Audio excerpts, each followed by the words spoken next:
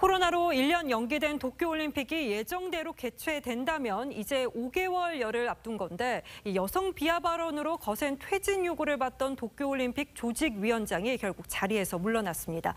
예정대로 올림픽이 치러질 수 있을지 차정승 기자가 보도하겠습니다. 문제가 된 건 여성 이사가 많아지면 회의가 오래 걸린다는 발언입니다. 모리 위원장은 3일 올림픽위원회 회의에서 여성들은 경쟁 의식이 강해 누군가 손을 들면 모두가 발언해야 한다는 말로 여성 폄하 논란에 휩싸였습니다.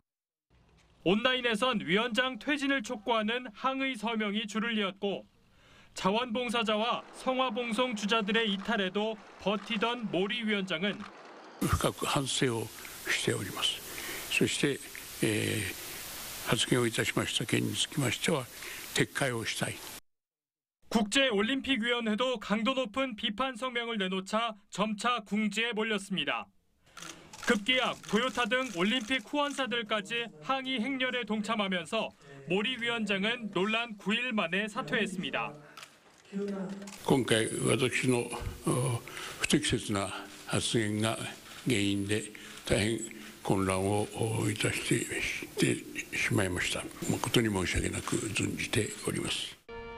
일본 총리 출신으로 개최 준비를 주도하던 모리의 사퇴는 큰 타격으로 작용할 전망입니다.